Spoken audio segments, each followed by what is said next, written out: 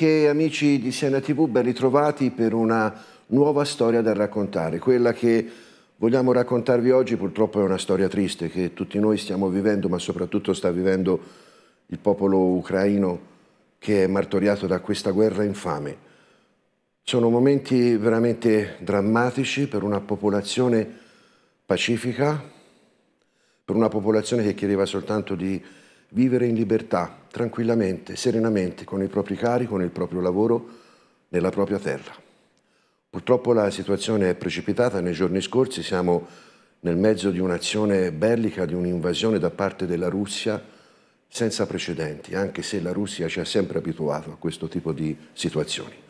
Vogliamo parlare di tutto questo oggi con l'ospite in studio che è venuto a trovarci, Alessandro Fanetti, che andiamo subito a presentare, che salutiamo e che ringraziamo per questa tua presenza. Con Alessandro cercheremo di fare un po' il punto della situazione ad oggi, di quello che sta accadendo in Ucraina con questa, con questa azione bellica, anche perché lui ha svolto degli studi praticamente che ti hanno portato no? ad osservare, ad analizzare a fare anche un po' di critica no? su tutto quello che avviene, perché tu sei laureato, innanzitutto buongiorno, eh? ciao. Ciao, grazie mille. Tu sei laureato Alessandro? Sono laureato in Scienze Internazionali qui all'Università di Siena, poi ho avuto la possibilità di scrivere un libro sulla Russia, sulla geopolitica, sulle relazioni internazionali e è stato un po' profetico diciamo perché ah. nel giro di pochi mesi poi è scoppiata Ecco, allora, guerra. la guerra. Chiederei alla regia di mandare innanzitutto subito la copertina del libro, eh, che mi dicevi non si trova nelle librerie, però lo si può ordinare online e lo si può ritirare anche presso il vostro negozio, perché la famiglia Fanetti, a cui appartiene Alessandro, ha una grande tradizione fotografica. Eh? Eccolo qua, Russia alla ricerca della potenza perduta. Tu questo l'hai scritto in tempi non sospetti? Sì, io questo diciamo, è stato pubblicato a luglio 2021, l'anno scorso, e poi appunto sembra sia stato profetico perché nel giro poi di sei mesi, sette mesi è scoppiata questa, questa guerra, inaspettata anche ecco, per certi versi. Mm. E, e dunque sì, si può trovare sul sito dell'editore oppure anche al negozio da me, chiaramente delle copie ce Lì in Piazza Indipendenza. Piazza Indipendenza, nel negozio storico di famiglia. Eh sì, e poi dopo ne parleremo, dopo ne parleremo. Eh, perché a prescindere dal fatto che anch'io per moltissimi anni, perlomeno quando non c'era ancora la fotografia digitale, eh, sono stato un cliente affezionato di questo negozio, ho tantissimi bei ricordi con i tuoi nonni, con il tuo babbo, con il tuo zio, eh, siamo molto amici. Tra le altre cose, questo mi, mi preme dirlo, con Andrea, che è il tuo babbo, anzi, se per cortesia possiamo cominciare a mandare un po' di fotografie che appartengono all'album di famiglia di Alessandro. Dicevo, con Andrea in particolare, mi ricordo di una bella passeggiata a Siena sotto una nevicata o dopo, subito dopo una nevicata, nel gennaio del 1979 e ci godemmo questa Siena, Siena imbiancata ovunque, salimmo anche sul facciatone del Duomo. Ecco, qui innanzitutto vediamo Andrea al centro con il tuo fratello che si chiama Lorenzo. Lorenzo. E io di qua, questa farlata è una foto anche abbastanza recente, l'abbiamo eh. fatta in occasione dei 60 anni dell'attività 60 nata nel 1962 ah. e il 12 febbraio 1962 è nata ah. e mio fratello, devo essere onesto, ha avuto la bella idea di contattare un giornale locale e sono venuti e abbiamo fatto una piccola intervista raccontando quindi la vostra storia. che oggi invece raccontiamo, oggi raccontiamo, raccontiamo qua. in ambito anche di, di, di, di, un'altra faccenda di un'altra questione che comunque andremo ad analizzare. grave, sì. allora famiglia di Torraioli diciamo così dove soltanto il fratello ha sdirazzato perché è dello corno famiglia vero? di Torraioli eh. e anche mio nonno appunto è, è della Torre mia nonna invece è, de, è del Bruco è nata allora ci dovrebbe essere la fotografia dei tuoi avi eccoli qua. Nonno Questi sono i miei bisnonni. eh bisnonni, bisnonni, sì. ripresi bisnonni. sul tufo di piazza con dietro i materassi a San Martino. Esatto. Hai ricordo Altri del tuo, no, del tuo, no, no dei, miei bisnonni nessuno, né da parte materna eh. né da parte paterna. Qui invece vediamo i fantastici coniugi Fanetti, eh? Mio nonno Sergio Fanetti e mia nonna Francesca Camilletti, ecco. purtroppo Sergio è scomparso, è, è scomparso alcuni anni fa. Invece nonna è sempre viva e vegeta, eh, sta molto bene. Quindi, una figura sì. veramente gentile in questo negozio dove lei in maniera adorabile accoglieva, accoglieva la clientela e sopportava mm. anche un pochino talvolta i rimproveri del nonno Sergio che l'avrebbe voluta più carattere tecnica. un po' ira- irascibile fantastico veramente era da sopportare eh, ogni tanto no ma comunque veramente un ricordo fantastico ecco queste due foto tra le altre cose che rappresentano molto bene queste due figure conosciutissime a Siena io giorni fa, passando davanti al vostro negozio, mi capita spesso, visto che abito in Piazza Indipendenza, ho visto queste due foto che le avete stampate sì? e messe dentro una bacheca. Sì? Dovrei averci la foto di questo. Mi sono fermato, ero in macchina, ho tirato giù il finestrino e ho fatto eccola. la foto. Si vedono anche dei riflessi un po' inconsueti. Sì, no? eccola, e francamente mi si è aperto un po' il cuore. Sono andato in là con gli anni. Fa molto che piacere. Bello. Sì, veramente. Mi fa piacere. Stato... Non, non, sei l'unico, devo essere onesto, che lo dice perché. Eh, sì. So, hanno lasciato so, un bel so segno. ricordi, hanno lasciato un segno. Hanno Poi... lasciato un bel segno e oltretutto voi tu con il tuo fratello Gabriele avete diviso l'attività, siete uno di fronte allora, all'altro. Gabriele è mio zio. Che ah, scusa, scusa, diviso... scusami, scusami, scusami, volevo dire non lo zio, volevo dire il fratello di Andrea, sì, Andrea sì. sì, sì, hanno diviso le attività. Sì, sono rimasti insieme diciamo, fino al 2003 sì, fino a che è stato mio, mio, nonno lì, chiaramente, poi mio nonno ha smesso giustamente dal 62 al 2003. Eh, si è goduto un po' un bel lasso di tempo. e, e ha lasciato via libera i figli. Ha lasciato via libera i figli mm. e hanno deciso, insomma, sempre in ottimi rapporti, chiaramente, però di aprire due negozi diversi eh. e mio nonno è, se- è sempre venuto comunque a dare una mano finché ha potuto. Ecco. Certo. Sia allora, dal punto di vista fotografico sia dal punto di vista di muratura, perché eh, mio perché nonno prima era muratore. Era muratore, eh? Esatto. E mia nonna invece è sempre venuta fino a poco tempo fa. Con un bel camice bianco, camice bianco. me lo ricordo benissimo. Continuiamo a sfogliare le pagine dell'album di famiglia, qui è il tuo babbo Questo che è il collo alla nonna. Mia nonna, sì. Eh, qui piccolissimo. Che eh sì, qui siamo inizio anni 60. Eccolo il muratore in azione, Eccolo qua. Eh? nonno Sergio, muratore in azione. Eh? In Questo è mentre mio zio apriva il negozio ah. e mio nonno andava lì a dare una mano. Insomma, Senti, sì. com'è cambiato il mondo della fotografia? Eh? Allora, io ho iniziato a lavorare lì nel 2008, quindi già eravamo entrati in piena età digitale, però ho avuto, diciamo, racconti e poi già andavo al, al, negozio chiaramente a vedere, a curiosare, certo, piccolo, già anche nel, nel, passaggio fra la pellicola e il digitale. Il allora, passaggio prima, è durato due anni, ecco, alla fine sì, possiamo pochissimo. tornare un attimo indietro, prima abbiamo visto un bel ritratto della mamma di Alessandro, nonché moglie di, di Andrea, di Andrea sì. Sandra. Qua. Sandra, sì, sì, sì. che Qui salutiamo perché anche con lei abbiamo passato dei momenti molto divertenti tutti assieme, ok? Andiamo pure avanti. Ah, questa, questa è la colpa è mia, eh, no, no, mi assumo la colpa, eh. E... ma questa comunque i nostri bravi tecnici sapranno girarla al momento sì, opportuno. Bene, ecco, questa è bellissima, tra le altre Però... cose è una, un abbraccio in un clima piuttosto artico. Un clima eh. freddo, quindi ci stava. sì, qui siamo nel nord Europa e eh, insomma avevo piacere ecco, a metterla che è carina.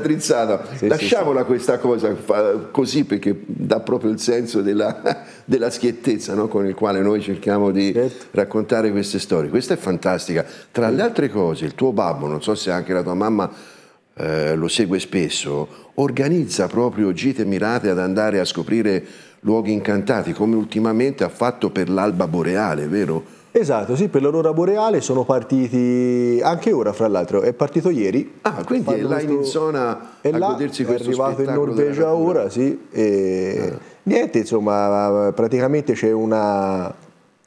una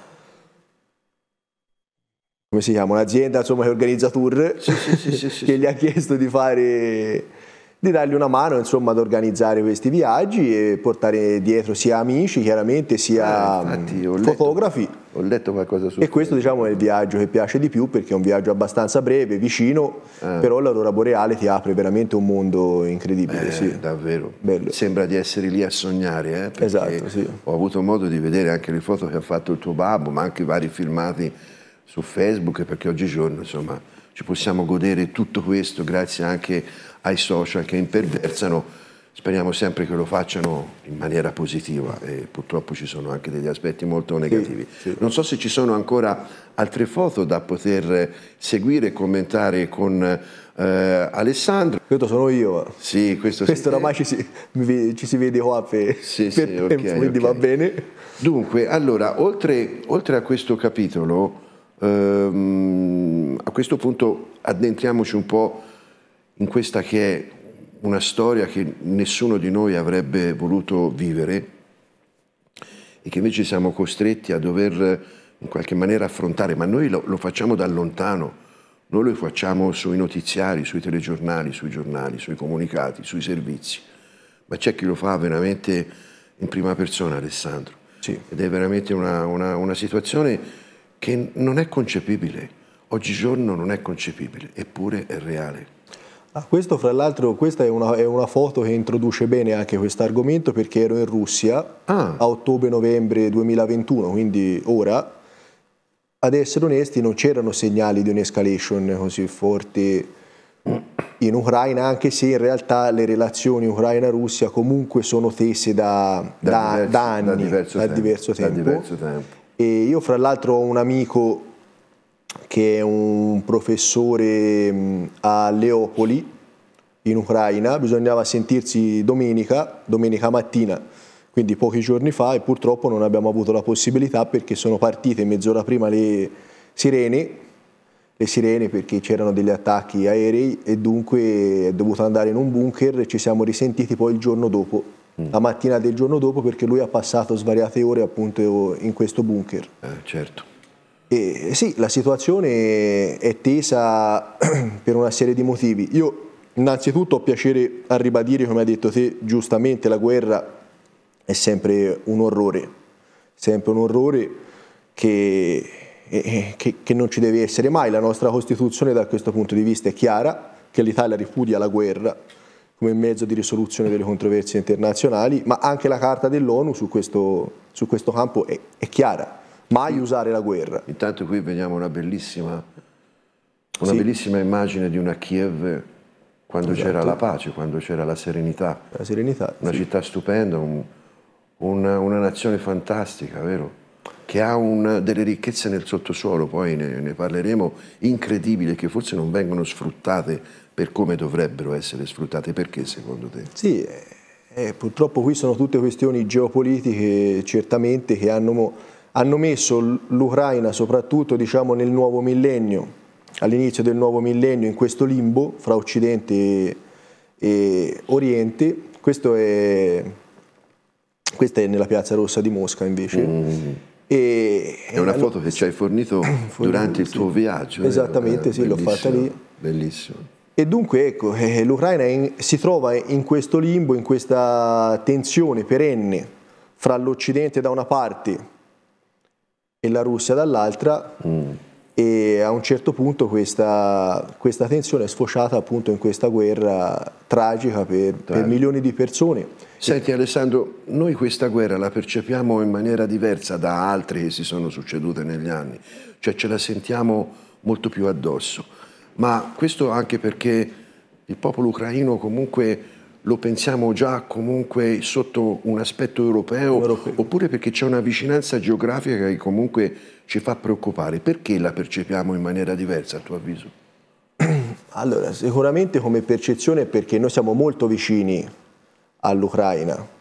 Eh, da questa mappa noi vediamo bene che il punto più a occidente dell'Ucraina il punto più a oriente dell'Italia è più vicino che il punto più a nord dell'Italia e il punto più a sud dell'Italia. Noi siamo molto vicini esatto. al paese e chiaramente abbiamo paura, abbiamo paura perché qui si fronteggiano una nazione nucleare come la Federazione Russa, l'Ucraina che non è nucleare ma che è sostenuta, appoggiata dall'Occidente con gli Stati Uniti in testa che sono un'altra potenza mm. nucleare. Quando inizia una guerra chiaramente uno, uno scontro sappiamo da, da, dove parte ma non sappiamo poi effettivamente mai dove arriva e quindi il rischio purtroppo anche di una terza guerra mondiale eh, esiste. Eh sì.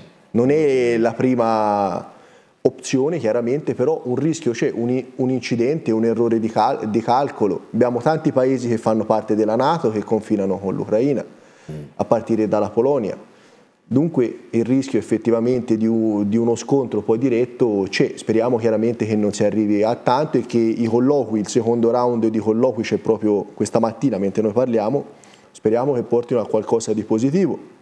Il primo round effettivamente ha portato a nulla, a nulla di fatto, però dopo giorni dove eh, la voce delle armi aveva, aveva parlato, stop, mm. in questo momento già un dialogo diretto fra le autorità di Kiev e le autorità di Mosca è un fattore positivo e, e che dà speranza. Allora un'azione bellica non è mai giustificabile, però Putin di che cosa ha avuto paura? Ha avuto paura che l'Ucraina diventasse una postazione NATO? Entrasse allora, diciamo, le tensioni federazione russa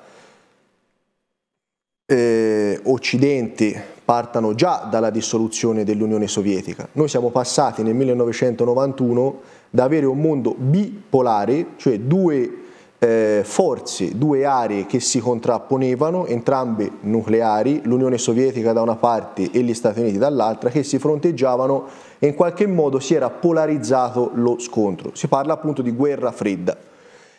Con la caduta dell'Unione Sovietica si sono un po' rimescolate le carte.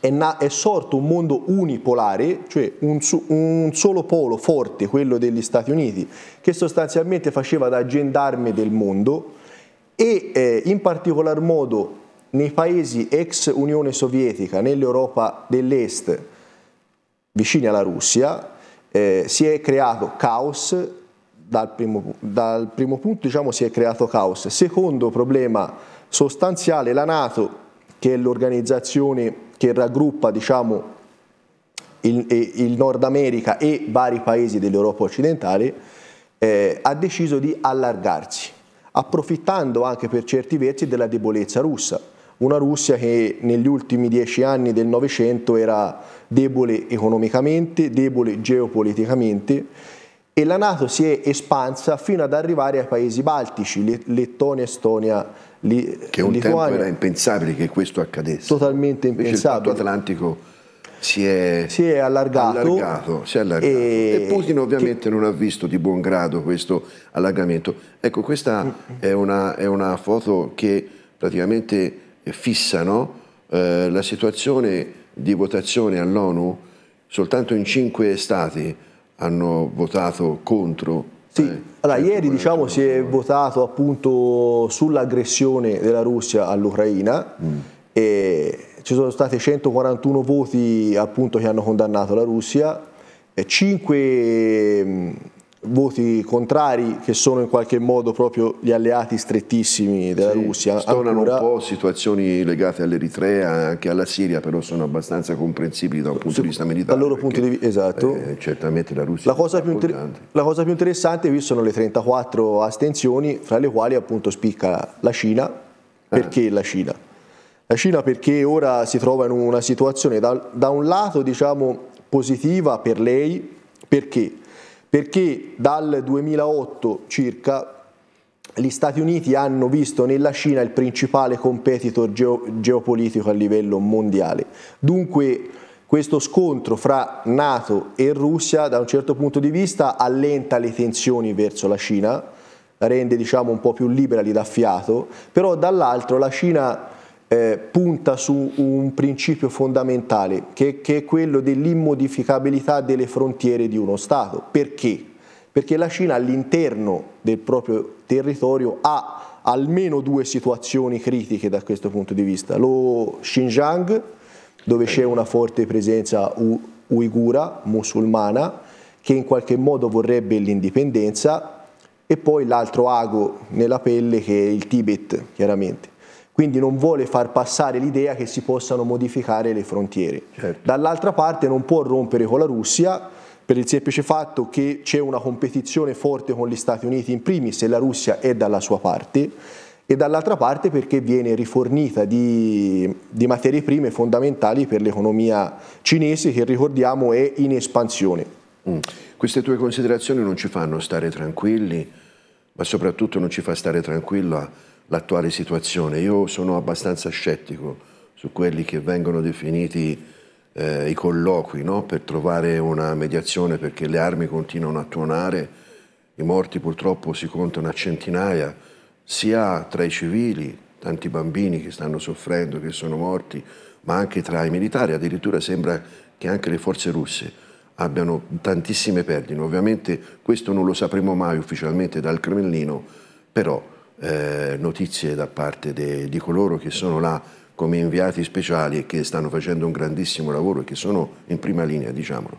A questo punto però, Alessandro, ti chiederei eh, un attimo di pausa perché eh, vorremmo eh, andare a sentire alcune testimonianze che abbiamo raccolto, la prima delle quali proprio da una ehm, donna ucraina che è qua a Siena, che vive a Siena da diverso tempo.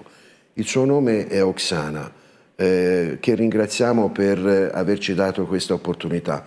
All'inizio era molto restia nel voler parlare, nel voler raccontare, perché mi ha confidato, io la prima parola che dico mi metto a piangere e allora poi ci siamo fatti forza a vicenda e abbiamo, come dire, raccolto questa testimonianza che adesso andiamo a sentire. Lo ha fatto con un filo di voce, strozzato dall'emozione e dal dolore, ma lo ha fatto. Sentiamo.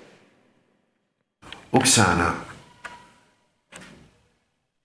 da molti anni qui a Siena, sempre molto legata alla tua terra, l'Ucraina, eh, quanti ricordi ma quanti dolori.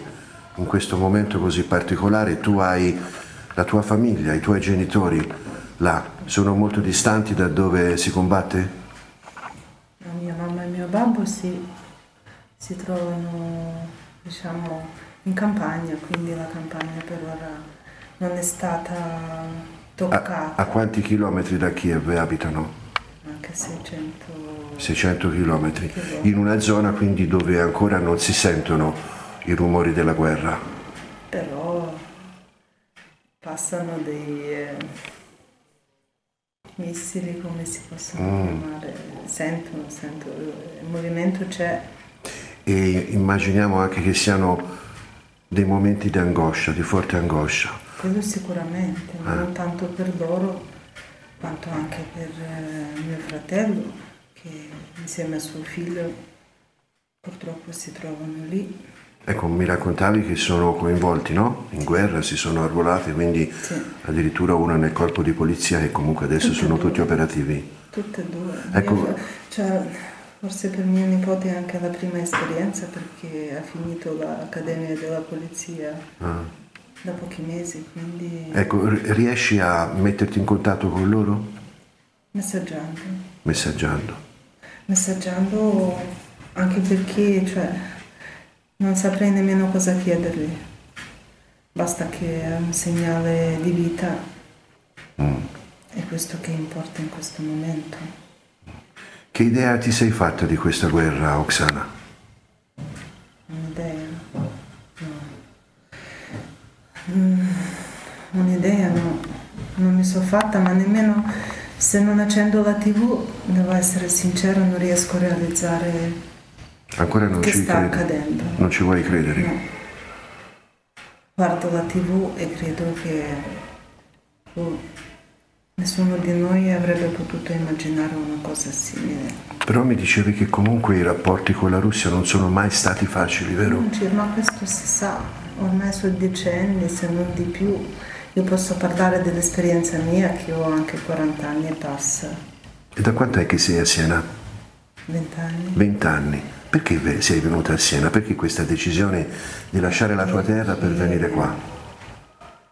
Perché sono stati tempi duri, ormai siamo abituati a tempi duri. È un popolo comunque che ha sempre avuto le batoste, sempre ringraziando il grande fratello, come si chiama? Mm eh, perché dopo il crollo dell'Unione Sovietica c'è stato anche un crollo, fallimento totale dello Stato.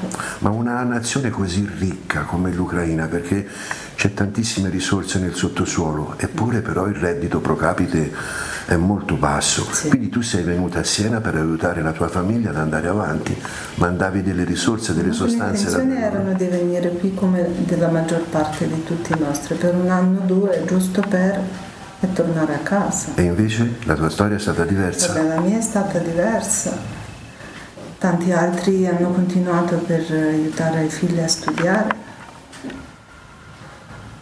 Per... Eh, Poi tu ti sei fatta una famiglia qua in Italia, a Siena, e quindi sei rimasta ancorata a questo nostro territorio. È così, ti accadono le cose inaspettate, non cercate, no? Eh, hai cercato anche di portare i tuoi genitori qua, vero? Sì. Ci sono stati per un certo periodo? Sono rimasti qui ad aiutarmi con i bambini. Quando avevi i bambini piccoli? Sì sì, ti davano una mano, però poi sono, sono tornati... fissi praticamente ah. 5-6 anni. Però poi sono tornati a casa loro? Sono tornati a casa loro, sì. Oh.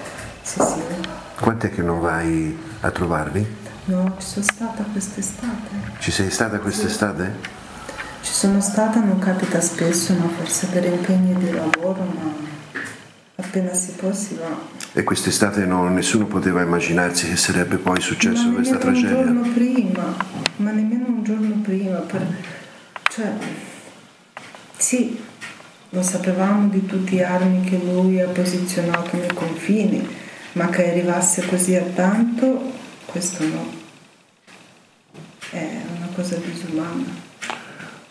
Non, la, non se l'aspettava nessuno, però il timore c'era e purtroppo poi la guerra è scoppiata. c'era, ma comunque non arrivi il giorno d'oggi, non arrivi a questo. Non, non puoi... Cioè, siamo un popolo che mm, è pacifico. Voi siete un popolo pacifico? Ma è pacifico. Siete un popolo pacifico. Ha superato tante di quelle difficoltà, sempre in silenzio, sempre invocandosi le maniche andando avanti senza piangersi mai addosso, desiderando solo il futuro migliore per i figli, per noi stessi e la libertà. E quella che ti vogliono privare è la libertà. E non si tocca perché è stata conquistata 30 anni fa con tanto, tanto, tanta, tanta fatica.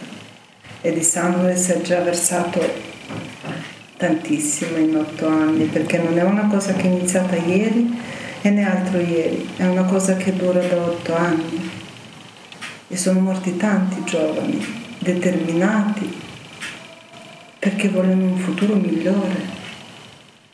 Perché chi, chi, non conosce quello che si è vissuto noi, io non entro nella politica perché non entro, ma chi non conosce la nostra storia fa fatica a immaginare cosa si è vissuto. Bisogna provare per credere anche se i nostri giovani non hanno vissuto quello che si è vissuto i nostri genitori, anche la mia generazione ha toccato per una bella fetta.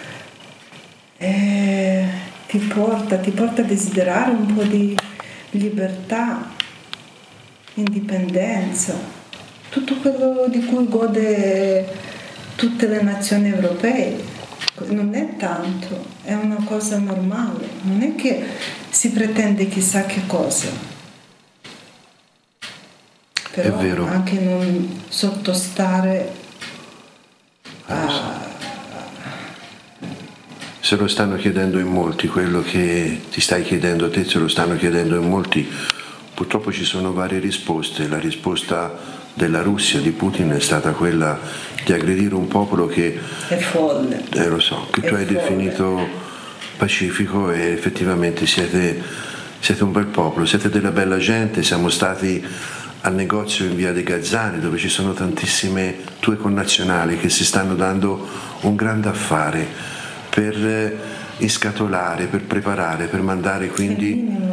Il minimo perché ognuna che è qui o ha il marito o il figlio o il fratello ha uno, due, tre familiari dalla famiglia che sono lì a combattere e te da un momento all'altro gli mandi un messaggio e non sai se ti arriva la risposta. Tu hai molte amiche qua a Siena, vero? Della tua terra. Vi sentite? Vi state sentendo? Sì, ormai ci siamo come si possa dire, siamo due, tre, quattro famiglie che manteniamo rapporto. Senti Oksana. Perché nessuno, nessuno avrebbe potuto immaginare una cosa così. Senti Oksana, riuscite anche a pregare? Sì. Eh. Può essere, può bastare? Guarda, fidati che ci sono i nostri militari che mandano dei messaggi dicono noi percepiamo le vostre preghiere perché ci sono i proiettili che passano accanto e tutto questo è grazie alle preghiere di tutte le mamme. E sì, ognuno prega a modo suo, non è necessariamente in chiesa. Certo. Però ognuno prega a modo suo e fa. Senti, la speranza, come si dice, è sempre l'ultima a morire. Ci auguriamo davvero che questa guerra possa concludersi quanto prima. Io sono Però- fiduciosa tanto Però forse non sarà più come prima, anche in Sarà Ucraina. meglio. Sarà meglio. sarà meglio. Sarà meglio e tutti i nostri giovani ragazzi, perché per lo più sono giovani ragazzi che sono morti per una causa giusta e la libertà. E, e non c'è altro, si deve vincere e si vincerà e sarà meglio. Un'ultima cosa, credo che non combatte soltanto per se stesso, ma anche per tutta l'Europa. È così, e anche per il desiderio che ha sempre voluto di entrare nell'Europa, di vedere un po' di mondo migliore, più aperto. E quindi io credo, credo in quello che credono tutti i nostri ragazzi che sono in prima linea e se lo meritano e devono vincere vinceranno.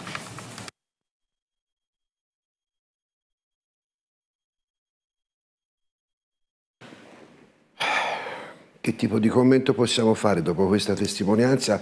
Pensate un po' alla sofferenza di questa donna, Oksana, che è qua a più di 2000 chilometri, più o meno, da tutto quello che sta sconvolgendo la terra ucraina. Pensiamo a quello che vivono tutti coloro che si trovano nel centro di questa situazione. Alessandro, ma che cosa e chi può fermare Putin a questo punto? Questa testimonianza veramente toccante, bella, di una donna, di una madre, di, di una figlia che chiaramente spera nella, ne- nella pace, che poi alla fine l'aspirazione di tutti i popoli del mondo è, è la pace, il benessere, la tranquillità, di poter passare in questa vita un po' di, un po' di, un po' di belle cose. Ecco. Senti Alessandro, sembra quasi un controsenso, però per avere la pace bisogna che le nazioni si armino per contrapporre e per cercare e trovare quindi determinati equilibri. Ma è una cosa folle questa oppure è una cosa indispensabile a tuo modo di vedere? Il mondo purtroppo non è il paradiso, il mondo è fatto di uomini con i loro errori, le loro pecche, le loro difficoltà. La verità è che eh, la deterrenza nucleare, perché in questo caso noi parliamo di questo, pu- purtroppo, grandi potenze che hanno le capacità nucleari in qualche modo riescano a fronteggiarsi senza scontrarsi. Almeno finora è stato così. Perché? Perché c'è paura della distruzione totale di tutto. E quindi è quel famoso equilibrio È un che equi- si è venuto a è creare. l'equilibrio di potenza. che forse, forse dico, può in qualche maniera Dovrebbe garantire garantire la pace. Anche se, come abbiamo detto prima, e si può ribadire tranquillamente, quando veramente ci si tocca, siamo a un metro, a un centimetro dal rischio di conflitto per un piccolo errore, per un... chiaramente quando due potenze nucleari si vanno a scontrare, l'utilizzo poi di quell'arma è, po- è possibile. Quindi quello che bisogna fare, quello che bisogna sperare soprattutto, perché noi purtroppo, noi come popolo anche abbiamo poco da, poco da fare, bisogna sperare in chi ci comanda è che, si è che si fermino il prima possibile e che trovino un accordo. Ok, dunque anche a Siena c'è stata una grande solidarietà con il popolo ucraino. un'attività commerciale che è nata da pochi mesi in via dei Gazzani, quindi proprio vicino ai giardini della Lizza, praticamente è stato il fulcro di, di, di questa manifestazione no? di solidarietà. Tantissimi senesi si sono recati lì per portare eh, indumenti, coperte, eh, giacconi per i bambini, ma anche medicinali, soprattutto medicinali, e anche alimenti in scatola a lunga conservazione, latte in polvere, eccetera. C'è stata una grandissima gara di solidarietà e questo fa bene, pur nella sofferenza, questo è un aspetto molto importante. Allora con Elena Cardaioli siamo proprio andati lì in via dei Gazzani per eh, capire meglio che cosa sta succedendo e che cosa anima queste persone, queste figure che anche a distanza tendono una mano ai propri concittadini. Sentiamo.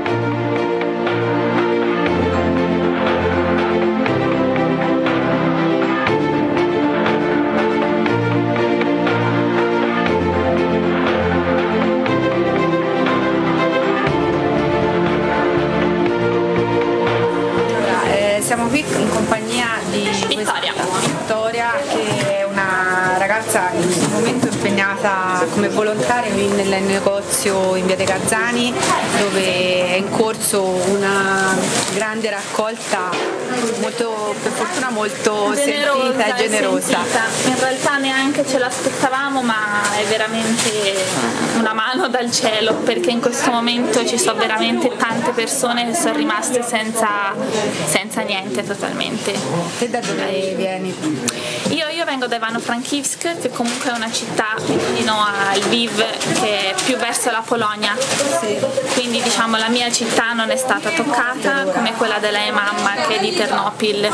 Però diciamo la mia cugina che era comunque a Ivano-Frankivsk, che vive vicino all'aeroporto, quando è scoppiato il missile l'hanno sentito, si sono rotti tutti i vetri di casa. Quindi, diciamo, quindi hai stato... chiaramente parenti, amici? Sì, ho momento... parenti, amici, il mio padre è in guerra ora, è Kiev, e lui ha fatto militare per una vita, quindi ha 11 anni di esperienza, quindi a lui l'hanno chiamato subito mi scrive ogni mattina dicendo oggi sono vivo. Ecco, questo è Scusate, Sì, non è per niente semplice. E quindi diciamo che noi da qui cosa possiamo fare? Allora, da qui da questo punto eh, all'inizio prendevamo di tutto, cercavamo di suddividere tutto nei vari cartoni, dai vestiti, soprattutto per i bambini, perché in questo momento ci sono tanti bambini che soffrono perché sono nei bunker o comunque nelle cantine di case e quindi cemento armato, freddo, poi se qui è freddo là è il doppio freddo, eh, quindi dai vestiti pesanti per bambini alle coperte ai neonati perché ci sono in questi giorni dei bambini nati in questi bunker e quindi abbiamo fatto una raccolta di latte, latte secco, quello in polvere, eh, gli omogenizzati, di tutto, quello che possiamo suddividiamo per età 0-6 mesi, neonati da un anno a tre anni. E poi ho visto anche in questo momento tantissime medicinali. Tantissime medicine perché una cosa primaria di cui questo momento necessitiamo sono le medicine, di tutto, dai coagulanti per il sangue, ai disinfettanti, alle garze, ai cerotti, antibiotici, anche per il mal di gola, certo, qualsiasi tutto, cosa. Di tutto, sì. Ecco, toglici appunto la curiosità, ma insomma perché è importante saperlo. Da qui poi queste, queste cose tutte raccolte vengono mandate, mi dicevi, allora, a Roma? Sì, sì, vengono mandate a Roma, non tutte vengono mandate a Roma, quei autisti che noi conosciamo da almeno dieci anni che partono da qua da Siena e quindi siamo diciamo in contatto e conosciamo le persone, quindi sono di fiducia, loro partono direttamente da qua e vanno in Ucraina al Lviv e dal Lviv poi eh, soprattutto i giovani ragazzi con le loro macchine partono e vanno nelle varie città. Dove non, dove non arriviamo come per esempio ora Kiev e Kharkiv che sono sotto attacco, arrivano direttamente i militari con i loro camion a prendere quello, quello che possono. Quindi parte de, di questa roba va anche alla Croce Rossa italiana? Sì, perché la maggior parte delle cose, perché gli autisti di fiducia diciamo possono essere due o tre, ma il tempo del viaggio che sono più di due giorni e il ritorno, quel tempo si perde. Tutto il resto che noi suddividiamo e quindi scriviamo con le varie etichette lo mandiamo a Roma. Da Roma è un'organizzazione della Chiesa greco-cattolica eh, con la Croce Rossa anche italiana che partono con i camion da Roma e arrivano comunque sempre al Lviv e poi si suddividono. Diciamo in Ucraina in questo momento tutti stanno dando una mano, dai giovani ai ragazzi che sono studenti che prendono la loro macchina con i rischi e i posti di blocco e tutto e cercano di portare dove possono le cose, eh, dai piccoli paesini anche dove le persone stanno bene, stanno riunendo nelle scuole, stanno facendo panini per i soldati, eh, alcuni vanno a fare i posti di blocco, ognuno fa quel, quel piccolo che riesce certo, a fare. Anche immagino anche in Polonia. Anche in Polonia, cosa, sì. Paesi... In Polonia tutte le persone comunque polacche sono lì alla frontiera, mettono i cartelli, quante persone possono ospitare, è veramente... Sì, no, fortunatamente c'è stata una, c'è stata una grande solidarietà, sì, una solidarietà sì, sì, enorme, l'unica cosa in questo momento da un Quello po' di che possiamo fare perché speranza. come io ho detto per i primi tre giorni sono stata a piangere dalla mattina alla sera, di notte non dormivo e poi ho detto bene che cosa posso fare? Certo. Allora ho detto se posso dare una mano in qualche cosa lo faccio. Sì, che penso poi- che la stessa cosa abbia- abbiano pensato tutte le altre persone. Sì, penso di sì, perché appunto anche a Siena fortunatamente c'è stato un tantam incredibile di persone. Faccio conto che mi abbiano chiamato tantissime persone che magari non sentivo da anni e mi sono sorpresa, mi hanno chiesto come possiamo aiutare, quindi veramente c'è stata una grande solidarietà da parte di tutti, veramente un ringraziamento da parte mia e di tutto il nostro popolo perché purtroppo ci serve tanto in questo Sì, momento. però credo appunto faccia felice anche noi che veramente siamo esterrefatti e attoniti da- di fronte a quello che sta capitando Sì. il- il- solo il fatto di potersi sentire minimamente utili in qualche modo ci Noi dà un minimo di sollievo. l'apprezziamo davvero tanto, per dire la mia mamma ieri è andata a comprare le medicine e la farmacia le ha detto no 100 euro li mettiamo noi e ve li doniamo, quindi dalle, dalle piccole cose abbiamo- vediamo che la comunità è veramente unita in questa disgrazia. Sì, quindi invitiamo quindi le persone a continuare a Sì, noi portare- finché possiamo lo facciamo, poi non sappiamo se domani ci dicono no, le frontiere le chiudiamo del tutto perché c'è un rischio elevato e quindi non possiamo più anche se farlo. poi Finché possiamo sicuramente ci saranno anche tanti eh, diciamo, persone che saranno magari arrivate in Polonia, in altri paesi e quindi poi ci sarà Eh, modo di arrivare noi, anche per lì. esempio per dire le caramelle per bambini non le mandiamo ora, le teniamo quando arriveranno qui e le avranno Esatto. bisogno. Alcune cose le teniamo qui come la pasta, perché in realtà lì non hanno tempo per fare la pasta, non hanno tempo di cucinare, quindi si mandano i ceci già in scatola che un soldato può prenderli e mangiarli. Quindi diciamo di che turno. comunque purtroppo ci sarà in ogni caso bisogno anche in seguito, quindi Sì, sì, sicuramente se non è per l'Ucraina Esatto, è per qui sarà- perché gli ucraini esatto, saranno arriveranno qui qui le nei paesi- famiglie altri sì, paesi europei, paesi, sì, sì. sì, d'accordo, noi ti Grazie ringraziamo mille a voi, Vittoria grazie e- mille davvero per il vostro gesto, è stato molto speriamo- apprezzato. speriamo- Speriamo che finisca il prima possibile perché è l'unica speranza delle persone che vanno a letto la notte e dicono ma domani ci sveglieremo oppure no. Quindi, quindi questo spera. per tutti noi speriamo di trovarci magari tra pochissimo e venire invece a veramente, veramente, noi lo speriamo. E grazie mille davvero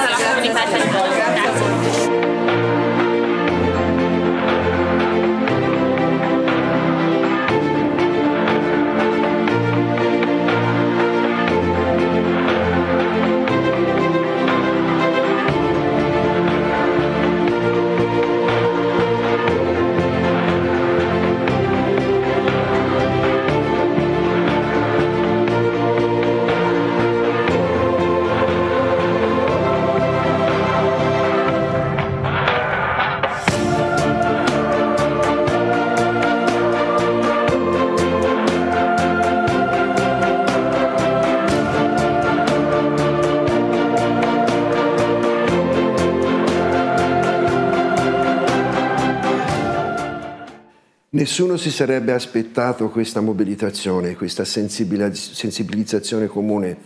Eh, lo abbiamo sentito dalla testimonianza di Vittoria, che ringraziamo, ringraziamo Elena, così come ringraziamo Oksana.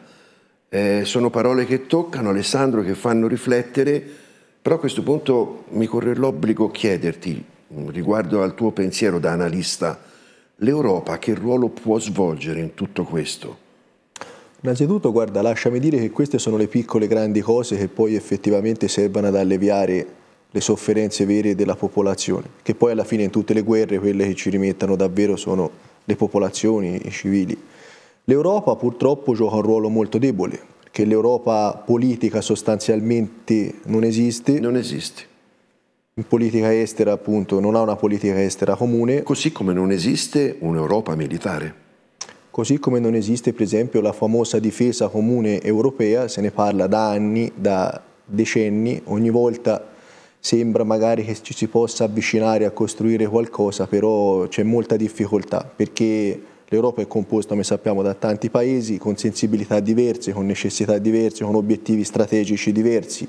Tanto è vero quelli che poi si sono impegnati di più eh, per evitare la, la guerra non sono stati tanto la Presidente della Commissione europea piuttosto che il responsabile della politica estera europea, quanto i singoli capi di governo, in particolar modo quello francese, Macron, quello tedesco, Scholz, e anche quello italiano, perché comunque Draghi ha una certa credibilità internazionale. L'Europa purtroppo ha un ruolo debolissimo da questo punto di vista. E invece il presidente ucraino Zelensky conta molto sull'apporto e sull'appoggio dell'Europa. Nei giorni scorsi ha fatto richiesta proprio di entrare a far parte della comunità europea e qui ci stiamo perdendo nella burocrazia no? politica che non è così immediata come invece è quella russa, no? che in un battibaleno ha annesso due repubblichine lì, due territori che sono poi strategici, no? diciamocelo sì. tranquillamente. È tutta sì. un'altra storia quindi tutta un'altra storia, per la precisione non li ha annessi ma li ha riconosciuti, riconosciuti. come indipendenti.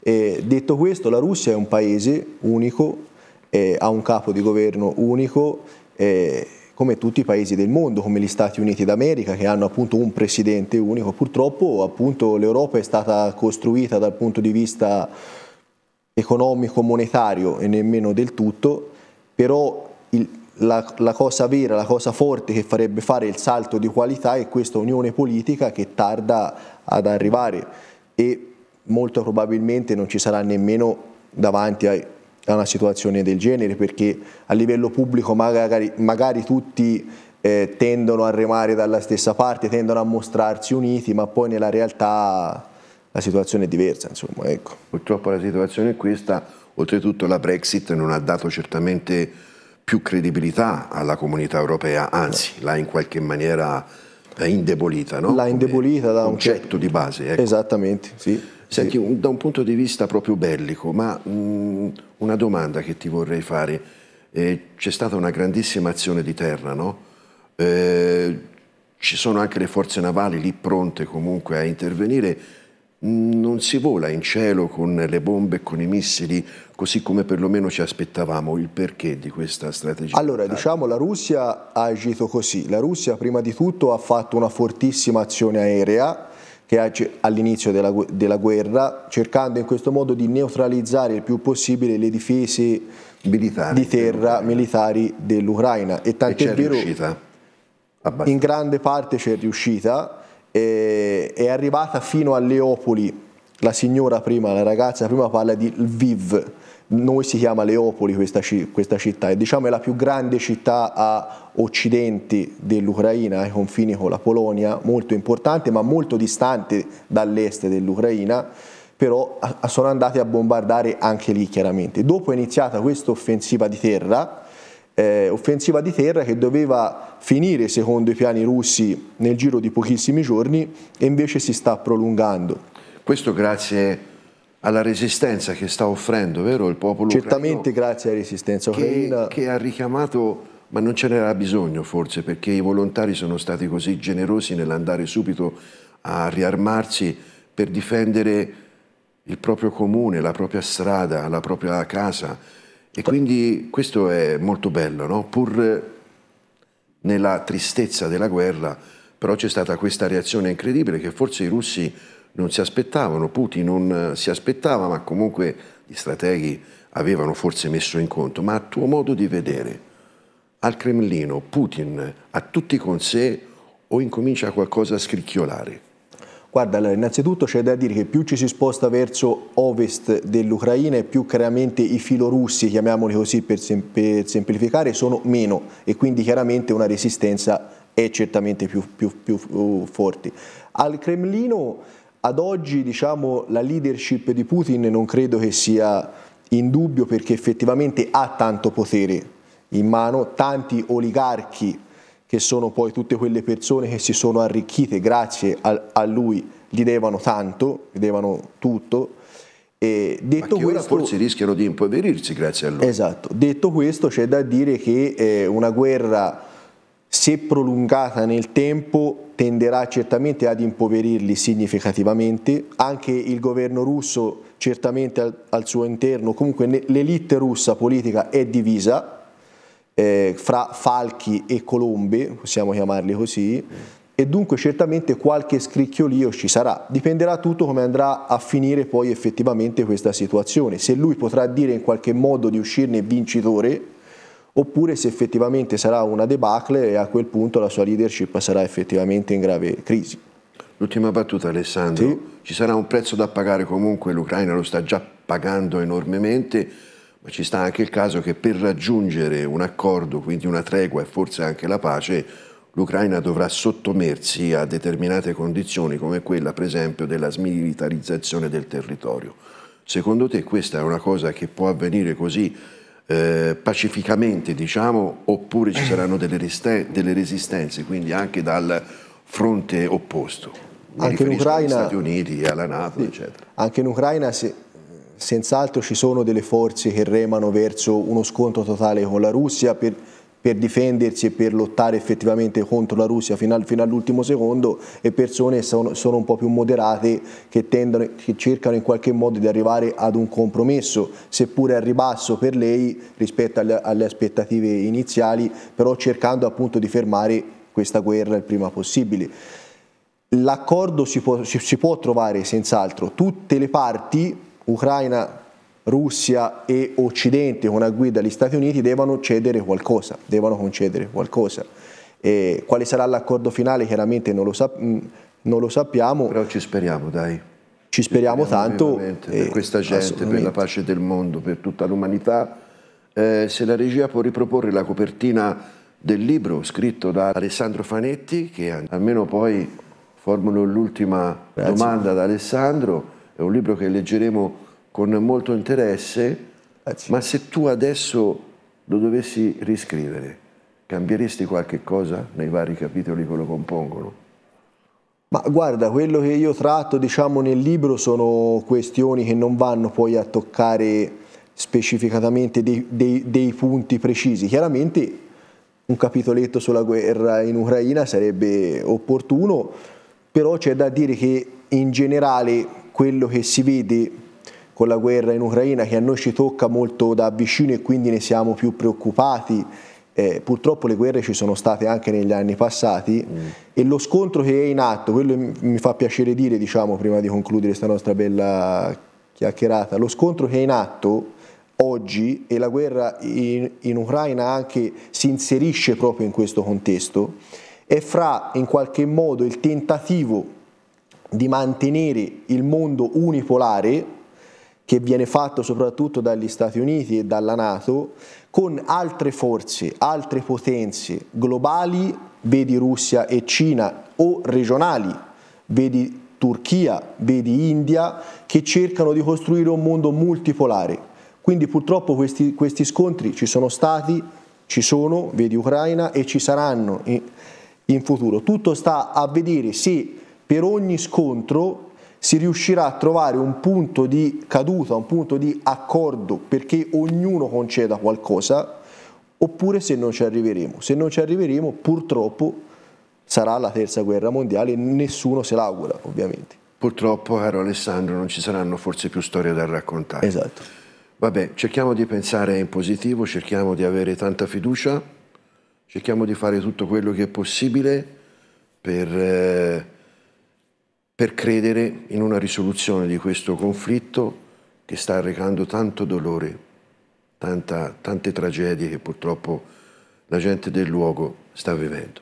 Bene, cari amici, abbiamo quest'oggi eh, raccontato una storia che non avremmo mai voluto raccontare però ringraziamo Alessandro per la Grazie sua partecipazione, voi, ringraziamo Oksana e Vittoria per le loro testimonianze davvero commoventi, ringraziamo Elena Cardaioli, preziosa collaboratrice, ringraziamo tutti voi, cari amiche e cari amici di Siena TV, per averci seguito in eh, questa nuova puntata di Storie da raccontare. Speriamo vivamente che dalla prossima possa ritornare il sorriso su tutti noi. Grazie.